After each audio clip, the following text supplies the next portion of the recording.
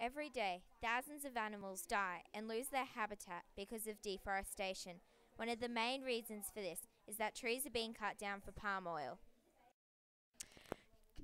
Some of the major food products that include palm oil are Tim Tams, Shapes, some shampoo and conditioners, Kit Kats, and some oils.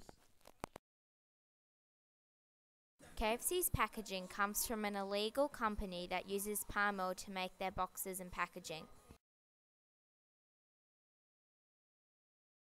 You can protect and save our orangutans by reducing the amount of palm oil used in products in your store.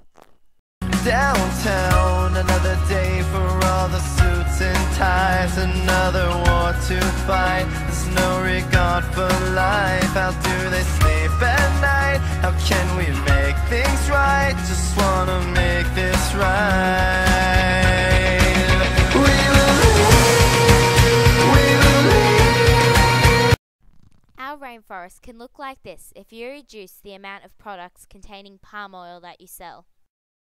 Downtown, another day for all the suits and ties, another war to fight. There's no regard for life. How do they sleep at